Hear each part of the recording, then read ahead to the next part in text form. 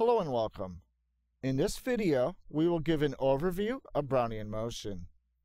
This is the next video in a series on quantitative finance and modeling markets. Brownian motion is a physics process that describes random movement.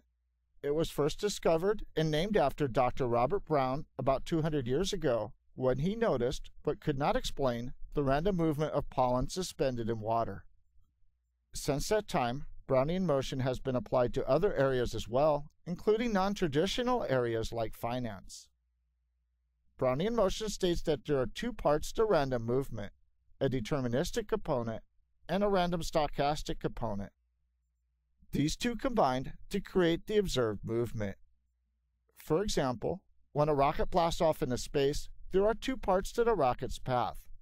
The first is the path of upward movement caused by the rocket's jets. The second part is the effect on that path from things like random gusts of wind and other randomly occurring natural forces.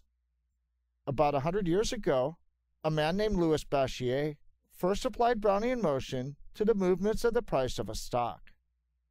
Years later, his work was built on by others, including Eugene Fama, to become the foundation for modern day quantitative finance. Therefore, the movement of the price of an asset such as a stock follows a continuous Brownian motion, which is sometimes referred to as a Wiener process.